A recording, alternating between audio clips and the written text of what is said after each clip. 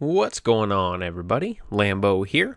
Today I'm going to be talking to you about the scene graph. That is this bad boy right here. When you very first open up your Giants editor, if you're making mods for Farming Simulator 22 or any of the previous versions, this scene graph is going to be inside of here, and it's pretty important that you understand some rules and basic dynamics of how it works because throughout Farming Simulator, the way it's used, it somewhat changes here and there, especially when we start getting into maps and you get more options as far as you could say.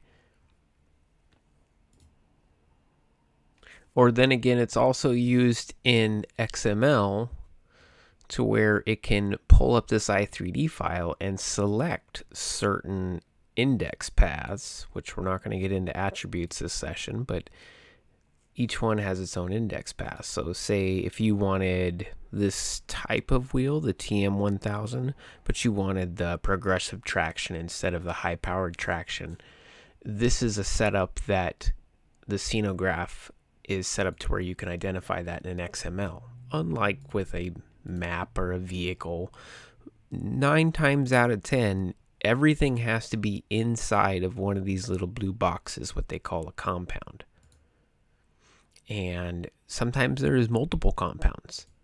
There's special little changes here and there, but most of your typical trucks, trailers, stuff like that is normally going to have one, maybe two compounds. You're going to get into some tractors and compi- combines, it over my words today, that are going to have multiple compounds. Mixing combines with compounds. Blah. And if you have anything such as, let's just say, a plane, if you have anything outside of that and you don't have it registered inside of the XML, as in with this jet fighter inside of the XML, it's going to be the one to my right. I only have one component. I keep saying compound component listed in there. So this additional one would actually throw me an error and screw it. Let's load up the game and show you what that looks like.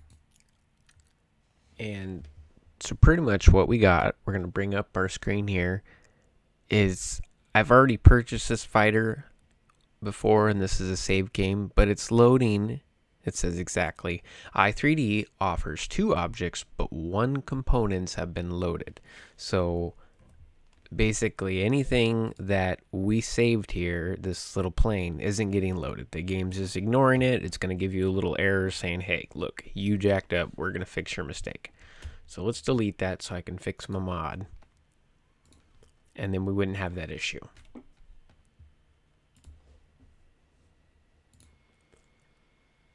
Next, I'm going to cover the order matters. The order matters so much this game relies upon these things called index paths.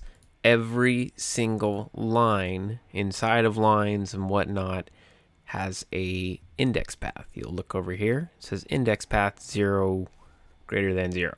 And then if we go inside of that, it'll just make a little line and it'll say that's the next line. And I even have a camera inside of that one. So every time you're working on a mod, most times your first camera you're going to enter is going to be your outdoor camera and then you're going to hit save and you're going to mess it up. So what I do is I create a work cam at the very top above my other cameras so I always load into my work camera and I never have to worry about where my work cam is saved and it, it just has my outdoor cam. You can see it right there. It's perfectly fine.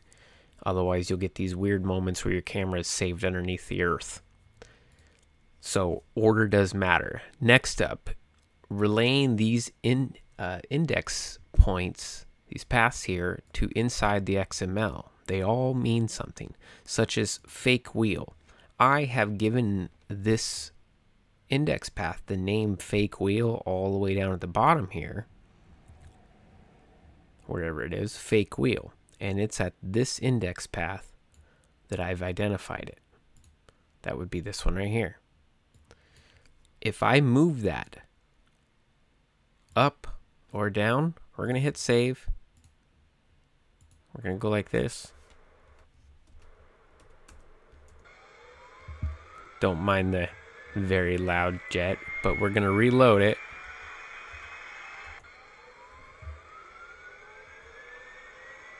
And now they're opposite.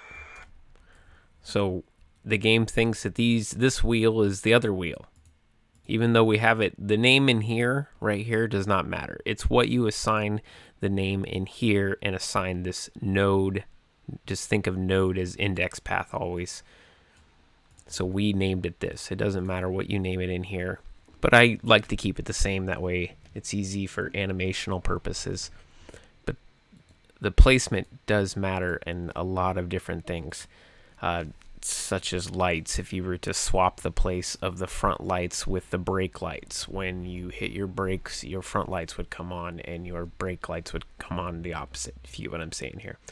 So you cannot move stuff around once you start assigning it and you give it a name and an index path and you match up the two. You're basically marrying these two documents, these these two files. Uh, this is like the the guide or the legend to this. Look at it like a map.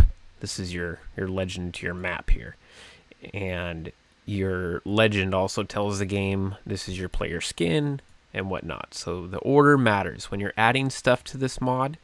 Say if you downloaded this or another mod and you wanted to add something to it, it's usually going to be best. We're just going to collapse all, open it back up so I can keep it simple. It's usually best, like if you wanted to add missiles to this and you weren't sure, but you wanted to be safe, I'd create a new transform, control X to cut it, paste it inside here at the very bottom hello. It doesn't matter what I do for the most part now. Oh, there's a lot you can do to mess it up, but if I wanted to put extra gear, extra missiles, flashy lights, things I wanted to code in and not mess with the other code, I would put it in here. A lot of times in mods that don't necessarily have a real camera, like a vehicle and whatnot, you're going to spawn in this personal camera, P- PRSP. I don't know what that stands for, but it's going to spawn. And when you hit save on the mod, it doesn't exist anymore once you get out of there. The Gi- Giants editor is just creating it for you while you're in there editing. So, no need to worry about that. Just make sure it's at the very bottom so it doesn't interfere. Because if this is uh, above that, as you can see, it changes all the index paths. So, just make sure it's at the very bottom so your index paths match up. And with placeables, it's a tad different with placeables. Order does matter if you're marrying it up with uh, an XML, but I've seen people build several different transform groups. You don't necessarily need to have a component. Uh, you can build quite a bit off of that, off of this, and it somewhat teeters right along the same line with maps to where they have different transform groups with different file or different objects in the inside of there. So it it matters in a sense that if you tell this field and blah blah blah or not the field that's not a good example. Uh, if you have any kind of XML that marries up with a map, you need to make sure that it, it knows the proper uh, index paths. Most of the time, we ain't working with XMLs that are directly changing the map. So the order in here sometimes matters, sometimes doesn't. Once again, if you're unsure, just create a new transform group at the base of, you know, say at southern France. This is always always going to be one of the safest routes. Is creating a new one. Try not to copy other transform groups because sometimes you see here where it says user attributes, you could accidentally copy a transform group that has additional code assigned to it that creates the sun in the afternoon or something like that. I don't know. It could be a random code or an on create. So whenever you're wanting to install new stuff in a map, that's a really safe way to do it. And right now, if you haven't hit the like button, please hit that for me, brothers. I'm going to share some tricks with you. So right now, say if we wanted to put this enter all the way at the top, you have two options. One, you can right click on it and press move up, which will painfully move it all the way up there.